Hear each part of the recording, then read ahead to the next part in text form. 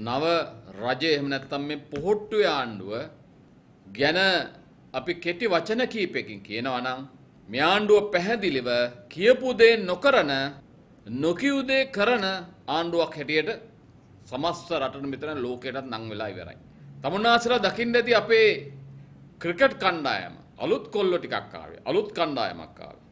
ඔන්න ගැහුවා ෂොට් එක ඔයිස්ස ගහලා දිනු. අපි එයාට සුබ පතනවා. අපි ආණ්ඩුවටත් කියනවා. ජනතාවටත් කියනවා. මේ රටේ ආර්ථිකයත් සමාජීය තත්ත්වයත් අධ්‍යාපනය තත්ත්වයත් සෞඛ්‍ය තත්ත්වයත් නගා සිටවන්න නම් අලුත් ටීම් එකක් ගහන්න අවශ්‍ය වෙනවාමයි. එහෙම නැතිනම් පරණ ටීම් එක දැන් ඉන්න ටීම් එකට ගහන්න බැහැ කියන එක ඔප්පු වෙගෙන එනවා මේ රටේ. බලමු ආර්ථිකය ගැන ගත්තහම අපේ ආර්ථිකය එදා ඉඳලා ආපු අපේ රටේ ආණ්ඩු කරපු වැඩපිළිවෙල අරගෙන ගත්තාම එක් එක් කාල සීමාවලදී උඩ යනවා පහළ යනවා. ඒ වගේම රටේ දීර්ඝකාලීන පැවැත්මට සහ කෙටි කාලීන පැවැත්වීමට වැඩ කටයුතු කරගෙන එද්දී අපි රටක් හැටියට රටේ ආර්ථිකය ශක්තිමත් කරන්න අවශ්‍ය කරන දේශීය අන්තනේ දේශීය වශයෙන් රටේ ජාතික නිෂ්පාදන ටික. ඒ වගේම දල දේශීය අපේ නිෂ්පාදන සහ ආදායම්. වගේම ජාත්‍යන්තර වශයෙන් අපි විදේශ වෙළඳපොළ ආක්‍රමණය කරලා ඒ විදේශ වෙළඳපොළත් එක්ක අපි ඒ වෙළඳපොළට අවශ්‍ය කරන ඉල්ලුමට අවශ්‍ය කරන සැපයුම අපෙන් නිවැරදිකාරය අපි දුන්නද නැද්ද කියන එක සහ අපි ගත්ත ණයවලින් රට තුල ආයෝජනය කරද්දී රටේ සම්පත් වර්ධනය කළා රටට ලැබෙන ආදායම් ජාත්‍යන්තර වශයෙන්ුත් වැඩි කිරීම සඳහා ඒ ණය මුදල් පාවිච්චි කරාද නැද්ද කියන එකත් අපි නැවත නැවතත් සිහියට ගත යුතු සහ විශේෂයෙන්ම සොයා බැලීමක් කළ යුතු කාලය මේක. අපි සමගි ජන බලවේගයේ හැටියට අදත් අපිට වැඩමුළුවක් තියෙනවා.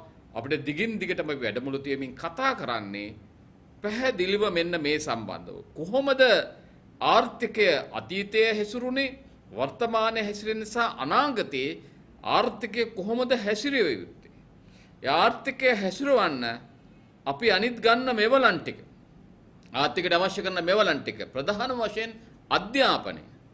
අධ්‍යාපනය කොහොමද රටේ ජාතික නිෂ්පාදිතයට රටේ ජාතික වශයෙන් ආර්ථික වර්ධනයට ජාත්‍යන්තර වශයෙන් ලෝකෙ වෙළඳපොළ හරියට හඳුනාගෙන ඒ ඉල්ලුමට අවශ්‍ය කරන සැපවම ලබා දීමට අවශ්‍ය කරන ඒ සම්පත් ටික නිර්මාණය කරන්න මානව සම්පත නිර්මාණය කරන්න අවශ්‍ය කරන සැලසුම් අධ්‍යාපනයේ තියෙනවද නැද්ද කියලා ප්‍රධාන වශයෙන්. ඒ අධ්‍යාපනයෙන් මේ රටට බිහිකරණේ මානව සම්පත කොයි ආකාරයෙන් රටේ උන්නතිය සඳහා වැඩ කරන්න අවශ්‍ය කරන වැඩපිළිවෙල මානසික වශයෙන්ුත් භෞතික වශයෙන්ුත් හදන්නේ කොහොමද කියන එක වැඩපිළිවෙල අපි ගැන අපි සම්බන්ධයෙන් කතා කරනවා. ඒ වගේම ආර්ථිකය හැසිරිච්ච විදිය.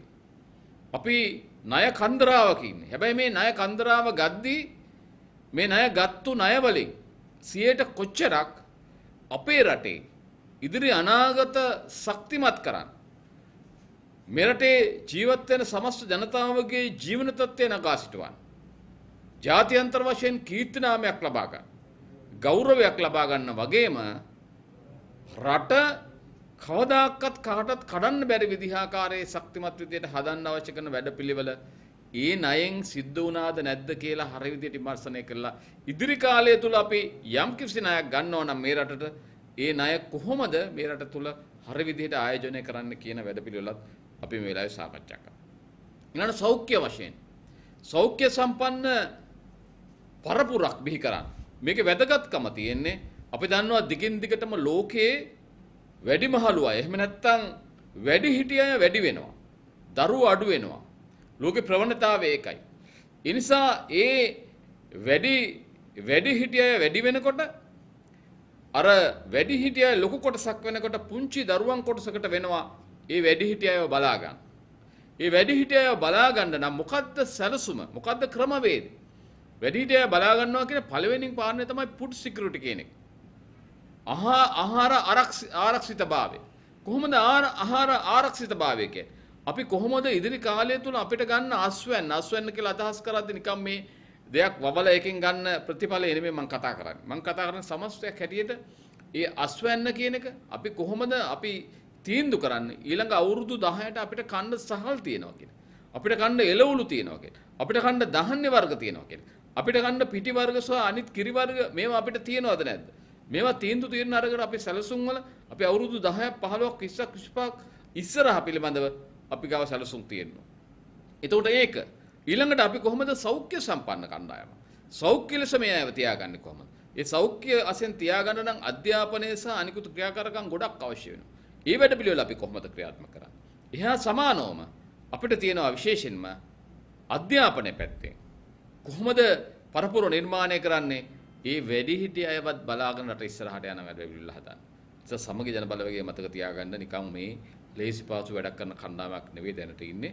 මේ කණ්ඩායම ඊ타මත්ම ගැඹුරු විදිහට ජනතාවට ඉදිරි කාලය තුළ ප්‍රතිපත්ති ප්‍රකාශනයක් හැටියට මේ ආණ්ඩුව කරවාගේ පට්ටපල් බොරු ඉදිරිපත් කළා ජනතාව රවට්ටනවා වෙනුවට පැහැදිලි ලෙසම මහා පොළොවේ ජීවත් වෙමින් මහ පොළොවේ යථාර්ථය ඉෂ්ට කරන්න අවශ්‍ය කරන වැඩපිළිවෙල ඉදිරි කාලය තුල ක්‍රියාත්මක කරන්න අවශ්‍ය කරන වැඩසටහනේ තමයි අපි සමග ජනබලවේගයේ හැටියට අපේ පක්ෂය මේ මේ අවධියේදී හිටින්නේ.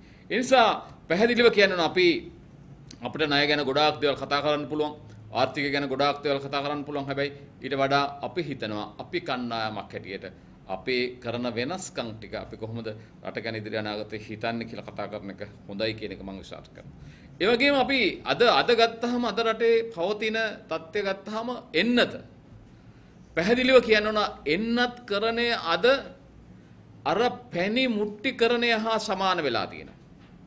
මොකද එන්නත් කරණයේදී ආණ්ඩුව සම්පූර්ණයෙන්ම එන්නත දේශපාලනීකරණය කරලා තියෙනවා. එතකොට කියයි මේ ආණ්ඩුව එන්නත ගහන්න යනකොට ඒගොල්ලන්ගේ දේශපාලඥයෝ වට වෙලාත කරන එන්නත් කරන ගැන අපි කතා කරනවා කියලා නැහැ.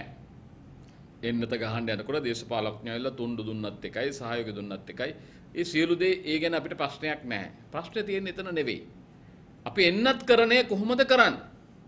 එන්නත් කරණය අපි ප්‍රමාද වීම නිසා රටේ ආර්ථිකයට බරපතල හානියක් සිදු වුණා. ජනතාවගේ ආදායම් තත්ත්වය සම්පූර්ණයෙන්ම විනාශ වුණා. රට බංකොලොත් වුණා.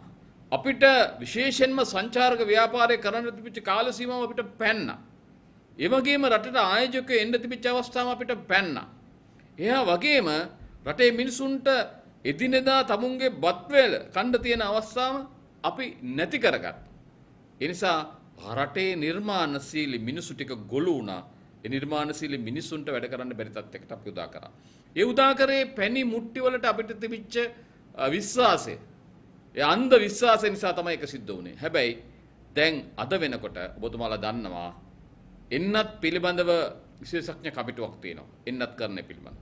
ඒ විශේෂඥ කමිටුව කියනවා මේ එන්නත් කරණයේදී සිද්ධ වෙන බරපතල වැඩි සම්බන්ධය තුමන්ලා කතා කරනවා.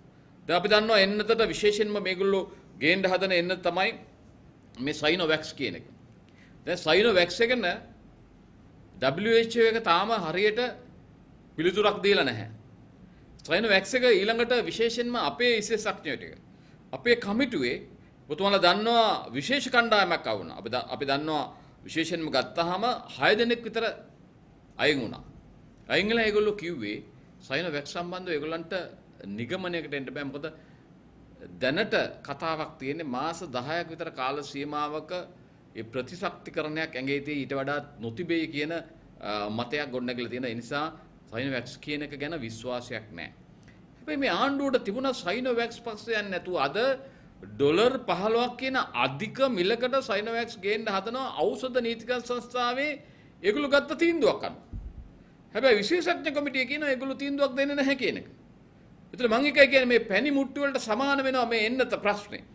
දැන් ඩොලර් 15ක් කියන අධික මිලකටත් ගේන්න හදන්නේ සයිනොවැක්ස් කියලා කවුරුත් අනුමත නොකරන එන්නතක් නම් මේ බලාපොරොත්තු වෙන්නේ දේශපාලන වශයෙන් රටේ මිනිසුන්ට කියන්න මෙන්න අපි එන්නත් කළා අවසන් කරා. හැබැයි ඒකෙදි බලන්නේ මිනිසුන්ගේ ඉදිරි පැවැත්ම ජීවන රටාව සෞඛ්‍ය තත්ත්වය එයාගේ මරණ මේ කිසි දෙයක් ගැන බලන්නේ නැතුව මේගොල්ලෝ තීන්දුවකට යන්න යනවා. ඔන්න අපි මා හයියෙන් කෑ ගහලා පෝස්ටර් ගහලා බැනර් ගහලා කටවුට් ගහලා මෙන්න රඟ දක්වන්න හදනවා අපි එන්නත ගහලා ඉවරයි හැබැයි එන්නතේ ප්‍රතිඵලය ජනතාවට කොයි ආකාරයෙන්ද කියන එක කියන්න මේගොල්ලෝ අපෝසත් වෙන්න හදනවා ඉදිරි කාලය තුල ඒක රටට ඉතාමත්ම භයානකයි කියන පණිවිඩය අපි දෙන්න ඕන. ඇයි මේගොල්ලන්ට බැරි ඇස්ට්‍රාසෙනිකා ගේන්න? ඇයි මේගොල්ලන්ට බැරි ෆයිස මොඩෝන වගේ ඒ ඒ ලෝකයේ පිළිගත්ත ඉන්ජෙක්ෂන් ටික ගේන්න ඒන්නත් ටික ගේන්න බැරි මේගොල්ලන්ට. මේගොල්ලෝ එතනදී අසමත්. ඒ අසමත් භාවය පෙන්වන්න නැතුව රටේ ජනතාව වෙන පැත්තකට අරින්න හදනවා. ඒ වගේම පැහැදිලිව කියන්න ඕන. ලෝකේ නායකයෝ මේ එන්නත ගහනකොට ඒගොල්ලෝ ප්‍රසිද්ධිය ඇවිල්ලා ජනතාවට පෙන්වුවා මෙන්න අපි එන්නත ගහගත්තා කියලා. අද මේ රටේ ජනාධිපතිවරයා හෝ අගමැතිවරයා හෝ කිසි දවසක පෙන්නලා තියනවද එන්නත ගහගත්තා කියලා? දැන් එන්නත ගහගත්ත එක ඒගොල්ලන්ගේ රහසක්නේ. අපි අහන ආණ්ඩුවෙන් කියන්න වහම ජනතාවට කවදද රටේ ජනාධිපතිවරයා සහ අග්‍රාමාත්‍යවරයා එන්නත ගහලා අවසාන කරේ. එන්නත ගහලා ඉවර කරේ. නාමල් රාජපක්ෂ මැතිතුමා හැම එකම ප්‍රචාරණ කටයුතු වලදී ඉදිරියෙන්ම ඉන්නවා එතුමා. හැබැයි එතුමාවත් ඒක පෙන්වුවේ නැහැ. ඒ කියන්නේ රටේ නායකයෝ විශ්වාසවන්ත බව පෙන්නලා නැහැ රටේ ජනතාවට. ඒක බියක්ද නැත්තම් මේ අයද ඉස්සෙල්ලාම ජනතාවට ඉස්සෙල්ලා ගිහිල්ලා එන්නත ගහගත්තේ කියන එක අපි දන්නේ නැහැ. ඒක රටට කියන්න කියලා අපි ආණ්ඩුවට කියනවා මේ වෙලාවේ. ඒ වගේම අපි කියන ආණ්ඩුවට විශේෂයෙන්ම මේ එන්නත පිළිබඳව මෙලොන්ට ජාතික ප්‍රතිපත්තියක් අරගන්න. ඒ ජාතික ප්‍රතිපත්තියේ පෙළගස්සන්න එන්නත ගහනවා නෙවෙයි. මෙරටේ සෞඛ්‍ය තත්ත්වය ආරක්ෂා කරගෙන රට ඉස්සරහට යන වැඩසටහන ඒ ජාතික ව්‍යාපාරයේ තියෙන්න ඕන. එන්නත පිළිබඳව ජාතික ප්‍රතිපත්තියක් කරගත්තා මේ අයට පුළුවන් තීන්දුවක් ගන්න. මෙන්න මේ ආකාරයෙන් ජනතාව පුරවැසියෝ ටික සෞඛ්‍ය සම්පන්න පුරවැසියෝ බවට ඉදිරි කාලෙදී අපි පත් කරනවා මෙන්න මායාකාරයෙන් කියලා කියන්නේ. එතකොට එයාට අපි ඒකයි කිව්වේ හැමතිස්සෙම ඔගොල්ලෝ මේ විපක්ෂයක් කියලා හිතන්න එපා. හැම කණ්ඩායම මේක රාශි කරගන්න. මොකද්ද විපක්ෂයට තියෙන බය? විපක්ෂය ඇවිල්ලා තමුන්ගේ අදහස් ප්‍රකාශ කරපුවා මොකද්ද තියෙන ප්‍රශ්නේ? අපිට එළියේ වේදිකාවේ කෑ ගහන්න අවශ්‍ය වෙන්නේ නැහැ. එළියට බහින්න අවශ්‍ය වෙන්නේ නැහැ. අපිට තිබුණා ආණ්ඩුවත් එක්ක වාඩි වෙලා සෞඛ්‍ය ප්‍රශ්න සම්බන්ධව අපිට තීන්දුව ගන්න. ආර්ථිකය සම්බන්ධව අපිට තීන්දුව ගන්න තිබුණා. හැබැයි ඒ තීන්දුව ගන්න අවස්ථාව නොදුන්නාම අපිට ජනතාවත් එක්ක පෙළගැස්සන්න සිද්ධ වෙනවා. පෙළගැස්සුවට පස්සේ ජනතාවට දොස් කියලා බැනලා වැඩක් නැහැ කියන එක විශේෂයෙන්ම මතක් කරන්න ඕන. මොකද හේතුව ජනතාව කියද්දි අපිට කෑ ගහලා අපිට මේවා නැහැ, අරේවා නැහැ, මෙන්න මෙහෙම අපිට විශ්වාසයක් නැහැ, අපිට එළියට බහින්න ඕන කියලා කියපුවම පක්ෂය විපක්ෂයක් හැටියට අපිට ආණ්ඩුවත් අවස්ථාව දෙන්නේ නැත්නම් වාඩි වෙලා අටේ පස්සට කතා කරන්න අපිට ජනතාවත් එක්ක බෑරට බහැලා පාරදී මේ ප්‍රශ්නේ කතා කරන්න සිද්ධ වෙනවා. අපිට මාධ්‍ය මේ ප්‍රශ්නේ කතා කරන්න සිද්ධ වෙනවා. ඒක හංගගෙන අපිට කතා කරන්න බෑ නිසා විශේෂයෙන්ම මම මේ ගැන සිහිපත් කරනවා මේ වෙලාවේදී. ඒ වගේම තමයි අපි ආණ්ඩුවට කියනවා අද මරණ 63ක් වෙලා තියෙනවා ඊයේ පෙරේද වෙනකොට. මේක මරණ 100ටයි 200ටයි. මේක මරණ ගොඩක රටක් හැටියට පත් කරන්න එපා. ජනතාවත් එක්ක ජීවිතත් එක්ක සෙල්ලම් කරන්න එපා කියලා අපේ ආණ්ඩුවට කියනවා. වහාම ආණ්ඩුව හර විදිහේ තීන්දුව తీරන අරගෙන රටේ මිනිසුන්ව ජීවත් කරන්න අවශ්‍ය කරන වැඩ පිළිවෙල හදන්න කියලා ඉල්ලීමක් කරනවා. තමනාසල දන්නවා මේ දවස්වල ගුරුවරු ටික එළියට බහැලා ඉන්නේ ඇයි කියලා. දැන් මේ ගුරුවරු විදුහල්පතිවරු ටික ගිය පාර මේ ආණ්ඩුව පිටවද්දි මොනවද කරේ? මේදගොල්ලෝ කරේ සම්පූර්ණයෙන්ම ආණ්ඩුවට අවශ්‍ය කරන වැඩපිළිවෙල.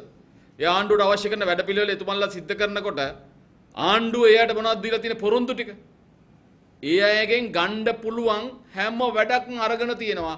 ඒ අරගන්න හැම මොහොතකම රාජ්‍ය සේවකයාට ඕන නැති සියලු පොරොන්දු ටික දීලා තියෙනවා. දැන් පොරොන්දු ටික දුන්නට පස්සේ ඒ අය එළියට බහැලා ඉල්ලන්නේ උඹලා අපෙන් පර වැඩ ගත්තනම් දැන් දීපල්ලා අපිට උත්තර කියන වචනේ තමයි එතුමන්ලා කියන්නේ එළියට වෙලා. උඹලා අපෙන් වැඩ ගත්තා අපිව බෙදුව කෑලි කෑලි වලට අපිව බෙදලා අපිව එක එක අංශෙන් එක එක විදිහට අරගත්තා. දැන් අරගෙන අපිට විරුද්ධ වෙච්ච නිසා අපි සියලු දෙනාම දැන් එකට වාඩි වුණා ගුරුවරු විදුහල්පතිවරු හැටියට අද ආණ්ඩුවට සිද්ධ වුණා එදා ප්‍රශංසනිත විදිහට එක එක ආටෝප දාලා කතා පවත්තලා ගුරුවරු ගැන ආභරණ පලන්දපු ආණ්ඩුවේ ඇමතිවරුන්ට සිද්ධ වුණා ඒ ගුරුවරුන්ටම කාලකන්න කියලා කියන්න. එතෙන්ට වැටුණ ආණ්ඩුව. නිසා ආණ්ඩුව වැටෙන්නේ ඕක විතරක් නෙමෙයි. ආණ්ඩුවේ තිබිච්ච ප්‍රතිපත්ති ප්‍රකාශනයේ සියලු කරුණු කාරණා ටික අරගෙන බලපුවම සම්පූර්ණයෙන්ම ඒ අය අපෝසත් සර් ෆේල් විතරක් නෙමෙයි සර් නිසා රටේ සමස්ත ජනතාවත් ෆේල් කියන බවට පත් කරේ මේ ආණ්ඩුවම කියන එක විශේෂයෙන්ම සිහිපත් කරන්න ඕන. ඒ නිසා අද ලෝකෙ ගැන කතා කරද්දී මේ අය කියන දෙයක් තමයි මේ කොරෝනා වසංගතයත් එක්ක ලෝකෙත් හැම තැනකම ප්‍රශ්න බඩු මිල වැඩි වෙලා මිනිසුන්ට කියලා නෑ ලෝකේ රටවල් වල බඩු මිල වැඩි වෙලා නැහැ. ඒ රටවල් වල මේ වෙලාවේ කොරෝනා වසංගතයේ වෙලාවේ රටේ ජනතාවට හැමතිස්සෙම ආණ්ඩුව උත්සාහ කරන්නේ පුංචි හෝ අයුරකින් බඩු මිල අඩු කරලා කණ්ඩ දෙන වැඩසටහනක් කරන්න. ඒ නිසා ඒ රටවල බඩු මිල වැඩි වෙලා නැහැ. අපේ රටේ ආහසුසට බඩු මිල වැඩි වෙලා තියෙන නිසා ඉදිරි කාලය තුල දැන් ආණ්ඩුවේ කට්ටියම කියනවා තෙල් මිල තවයයි ගෑස් නැතුවේයි කිරිපිට නැති පිටි ටික නැතුවේයි ඇයි අපිට ඩොලර් නැති නිසා ඒ නිසා අපිට සැලසුමක් තිබුණේ නැහැ. ඒ වැඩ පිළිවෙල හරි විදිහට ක්‍රියාත්මක කරන්න කියන එක විශේෂයෙන්ම මතක් කරන්න ඕන. ඒ වගේම පොහොර ගැන පුංචි කතාවක් කරන්න ඕන. දැන් පොහොර ගැන මේගොල්ලෝ කතා කරද්දී දැන් මේ මේ මේ මොකද්ද කරේ? මේ කරේ පොහොර නවත්තලා කාබනික පොහොර ටික දෙනවා කියලා රසායනික පොහොර නවත්තලා.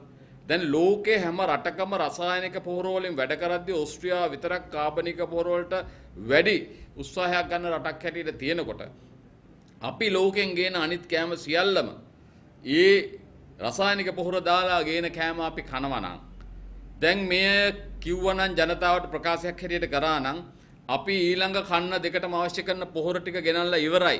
ඒක ගබඩාවල තියාගෙන වැඩ කරන්න කියලා කිව්වනම් එහෙමනම් මතක තියාගන්න පොහොර වලට පොහොර මිල වැඩි වෙන්න බෑ.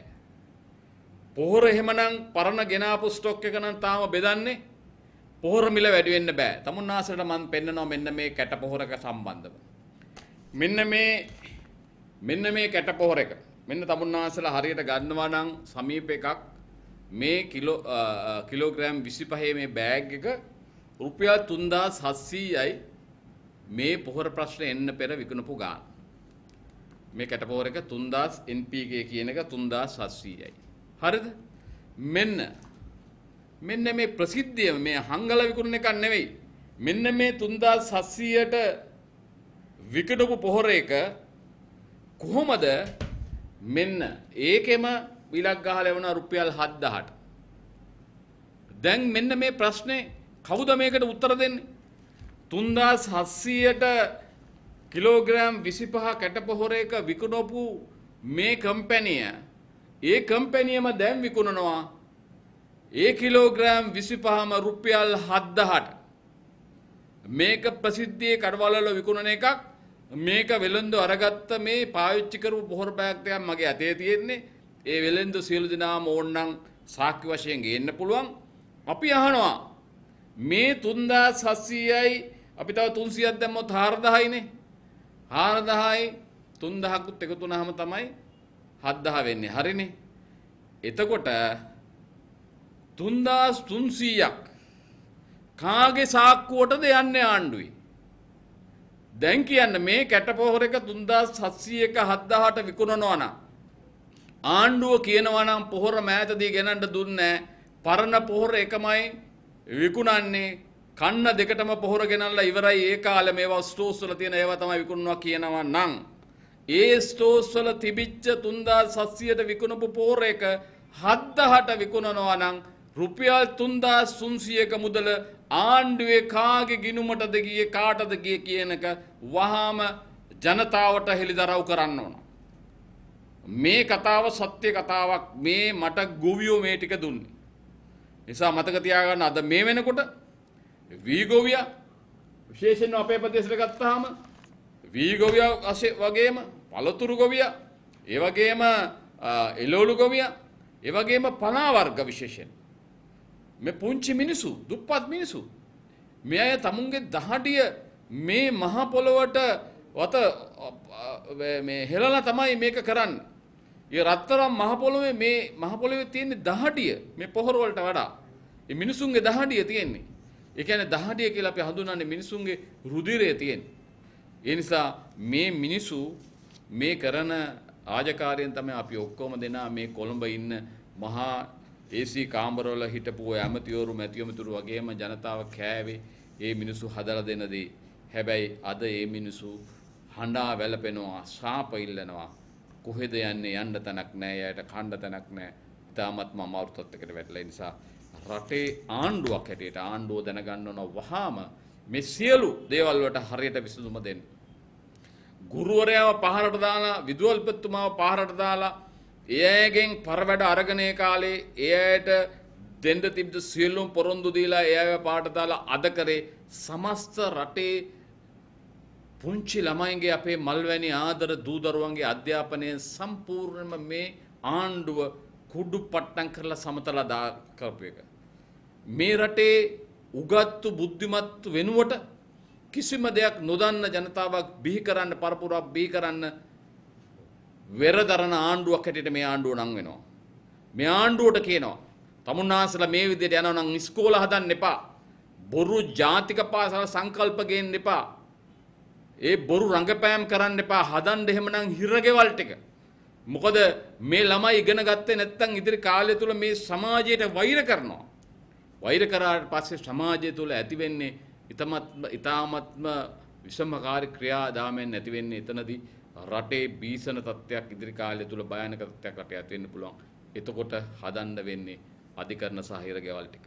ඒ නිසා මේ ආණ්ඩුවට කරන්න ඉතුරු වෙලා තියෙන්නේ ඒ ටික. ඒ නිසා ආණ්ඩුව අධ්‍යාපනයත් සෞඛ්‍ය තත්ත්වයත් රටේ ආර්ථිකයත් සමාජීය තත්ත්වයත් අද ආගමික නායකකුත් හෙලා දාලා විශේෂයෙන්ම ගත්තා මේ රටේ ප්‍රධාන ප්‍රශ්න මේ ආණ්ඩුව බලයට පත් වෙන්න පාවිච්චි කරපු සියලුම දේවල් විශේෂයෙන් මම මතක් කරන්න ඕන පාස්කු පහරය. පාස්කු පහරයට තාම සාධාරණයක් ඉෂ්ට වෙලා නැහැ. පාස්කු පහරය හංගන්න වලලන්න හදන ආණ්ඩුව අපි කියන ආණ්ඩුවට අපි ඊළඟට බහින්නේ තමුන්නාන්සලා දුන්නු එදා ජනාධිපති කමිෂන් එක අපි පත් කරපු කමිෂන් එකේ වාර්තාවත් එක්ක ඒ වාර්තාවේ නිර්දේශත් එක්ක ඉදිරි කාලය තුළ ඊළඟ පින්ම අපි පාරට බහින්නේ පාස්කු පහරයට සම්පූර්ණයෙන්ම මේ රටේ ජනතාවට සාධාරණ ඉෂ්ට වෙනකන් අපි පාරට බහිනවා.